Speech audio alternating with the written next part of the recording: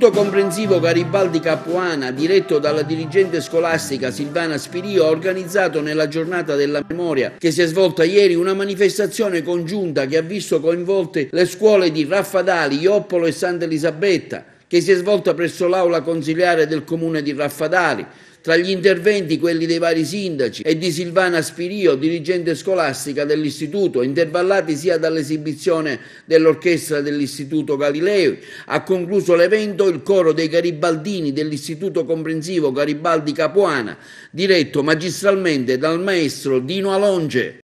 Oggi è la giornata della memoria.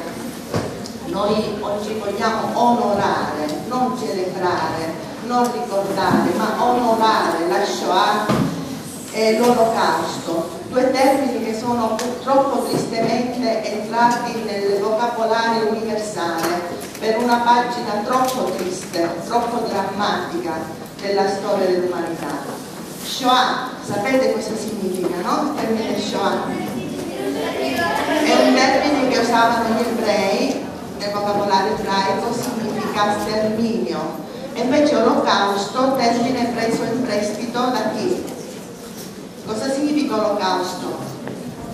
Il giorno della memoria è una ricorrenza internazionale decisa dall'Assemblea Generale delle Nazioni Unite che lo ha deciso nel 2005. L'Italia, devo dire francamente, qualche anno prima, con una propria legge, aveva deciso di stabilire per il 27 di gennaio, che è il giorno in cui sono stati aperti i cancelli di Auschwitz, quando l'Armata Rossa ha deciso finalmente di porre fine a questo eccidio e di liberare tutti coloro che stavano in questo campo di concentramento, l'Italia ben cinque anni prima aveva stabilito di ricordare e di stabilire il giorno della memoria.